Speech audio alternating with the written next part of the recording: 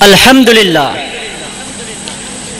وسلاۃ وسلم علی رسول اللہ وعلی علیہ واصحابی اجمعین، اما بعد۔ اعوذ باللہ من الشیطان الرجیم، بسم اللہ الرحمن الرحیم۔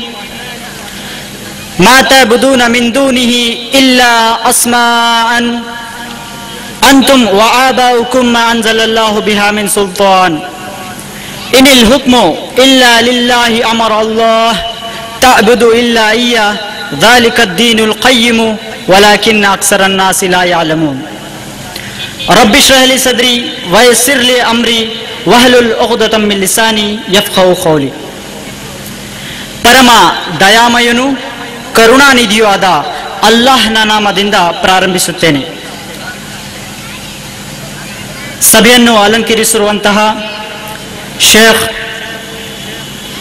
ಮೊಹಮ್ಮದ್ ಇಸ್ಮಾಯಿಲ್ ರವರೇ ಮತ್ತು ಸ್ವಾಮೀಜಿಗಳೇ, ನನ್ನ ಆತ್ಮೀಯ ಸಹೋದರನಾದ ಇಬ್ರಾಹಿಂ ಖಲೀಲ್ ರವರೇ ಹಾಗೂ ಮಸ್ಜಿದೆ ಖುಬಾ ಇಮಾಮು ಖತೀಬ್ರಾದಂತಹ ಇಬ್ರಾಹಿಂ ಜಾಲ್ವಾದಿರವರೇ ಮತ್ತು ಇಲ್ಲಿ ನೆರೆದಿರುವಂತಹ ನನ್ನ ಆತ್ಮೀಯ ಸಹೋದರ ಸಹೋದರಿಯರೇ, ತಮ್ಮೆಲ್ಲರನ್ನು ನಾನು ಇಸ್ಲಾಮಿಯ ಪದ್ಧತಿಯಲ್ಲಿ ಆಹ್ವಾನಿಸುತ್ತೇನೆ. ಅಸ್ಸಲಾಮು ಅಲೈಕುಂ ವರಹಮತುಲ್ಲಾಹಿ ವಬರ್ಕಾತು ಇದರ ಅರ್ಥ, ಸರ್ವ ಲೋಕಗಳ ಒಡೆಯನಾದಂತಹ ಅಲ್ಲಾಹನ ಶಾಂತಿ ಮತ್ತು ಶುಭವು ತಮ್ಮೆಲ್ಲರ ಜೀವನ ಮೇಲೆ ವರ್ಷಿಸಲಿ. ಇಂದಿನ ನನ್ನ ಮುಖ್ಯ ವಿಷಯ ದೈವ ಪರಿಕಲ್ಪನೆ ಪ್ರಧಾನ ಮತ ಗ್ರಂಥಗಳ ಬೆಳಕಿನಲ್ಲಿ. ಈ ಒಂದು ವಿಷಯವನ್ನು ಪ್ರಸ್ತಾಪಿಸುವ ಮುನ್ನ ನಾನು ಪ್ರಮುಖ ಧರ್ಮಗಳ ಬಗ್ಗೆ ಸಂಕ್ಷಿಪ್ತವಾಗಿ ಪರಿಚಯ ನೀಡಲಿದ್ದೇನೆ. ಮೊದಲನೇದಾಗಿ ಹಿಂದೂ ಧರ್ಮ. ಹಿಂದೂ ಎನ್ನುವ ಪದವು ಭೌಗೋಳಿಕ ಸೂಚಿತವಾದಂತಹ ಪದವಾಗಿದ್ದು, ಭಾರತದ ಆಗ್ನೇಯ ಭಾಗದಿಂದ ಬಂದಂತಹ ಪಾಶ್ಚಿಮಾತ್ಯರು ಮತ್ತು ಅರಬ್ಬರು ಇಲ್ಲಿ ಸಿಂಧೂ ನದಿ ನದಿಯ ತೀರದಲ್ಲಿ ವಾಸಿಸುವಂತಹ ಜನರನ್ನು ಉದ್ದೇಶಿಸಿ ಬಳಸಿದಂತಹ ಪದ ಹಿಂದೂ ಆಗಿದೆ. ಈ ರೀತಿ ಹಿಂದೂ ಎಂದು ಇಟ್ಟ ಹೆಸರನ್ನು ಹಿಂದೂ ಪಂಡಿತರು ಅಪಪ್ರಯೋಗವಾಗಿ, ತಪ್ಪಾಗಿ ಭಾವಿಸುತ್ತಾರೆ. ಹಿಂದೂ ಧರ್ಮದ ಬದಲಾಗಿ ಸನಾತನ ಧರ್ಮ ಅಥವಾ ವೈದಿಕ ಧರ್ಮ ಎನ್ನುವುದು ಸೂಕ್ತ ಎಂದು ಪಂಡಿತರ ಅಭಿಪ್ರಾಯ. ಹಿಂದೂ ವಿದ್ವಾಂಸರಾದಂತಹ ಸ್ವಾಮಿ ವಿವೇಕಾನಂದನವರು ಸಹ ಹಿಂದೂ ಧರ್ಮದ ಬದಲಾಗಿ ಸನಾತನ ಧರ್ಮ ಅಥವಾ ವೈದಿಕ ಧರ್ಮ ಎಂದು ಹೇಳುವುದು ಸೂಕ್ತ ಎಂದು ಅಭಿಪ್ರಾಯಪಟ್ಟಿದ್ದಾರೆ. ಈ ಹಿಂದೂ ಸಹೋದರರು ಮುಖ್ಯವಾಗಿ ವೇದಗಳನ್ನು, ಉಪನಿಷತ್ತುಗಳನ್ನು, ರಾಮಾಯಣ, ಮಹಾಭಾರತ ಹಾಗೂ ಮಹಾಭಾರತದಲ್ಲಿರುವಂತಹ ಒಂದು ಭಗವದ್ಗೀತೆಯನ್ನು ವಿಶ್ವಾಸಿಸುತ್ತಾರೆ. ಇದು ಹಿಂದೂ ಧರ್ಮದ ಸಂಕ್ಷಿಪ್ತ ಪರಿಚಯವಾಗಿದೆ. ಈಗ ಎರಡನೇದಾಗಿ ಕ್ರೈಸ್ತವ ಧರ್ಮ.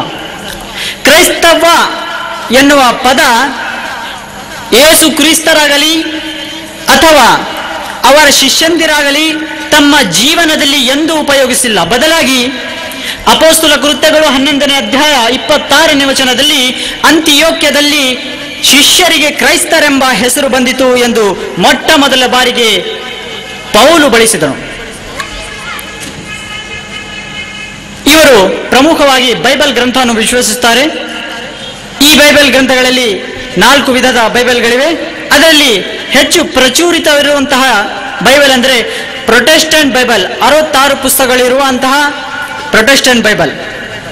ಇದು ಕ್ರೈಸ್ತವ ಧರ್ಮದ ಸಂಕ್ಷಿಪ್ತ ಪರಿಚಯವಾಗಿದೆ. ಮೂರನೇದಾಗಿ ಇಸ್ಲಾಂ ಧರ್ಮ.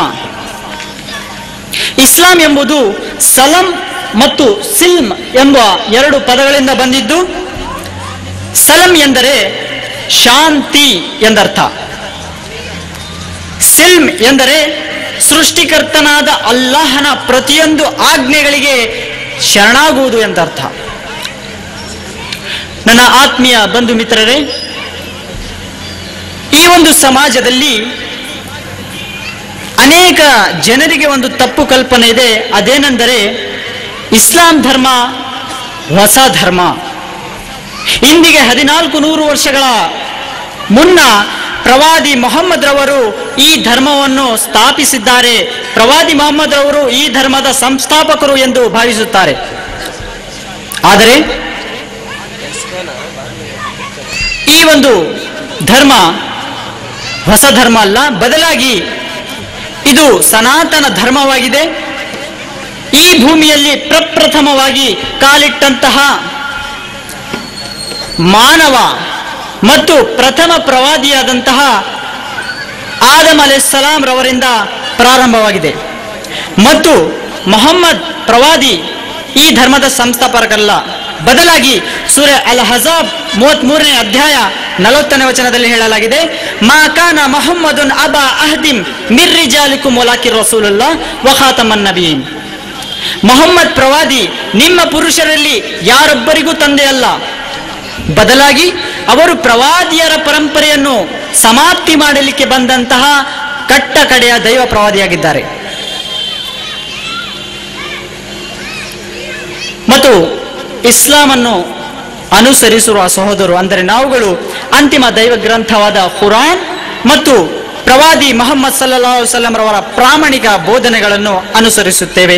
ಇದು ಇಸ್ಲಾಂ ಧರ್ಮದ ಸಂಕ್ಷಿಪ್ತ ಪರಿಚಯವಾಗಿದೆ.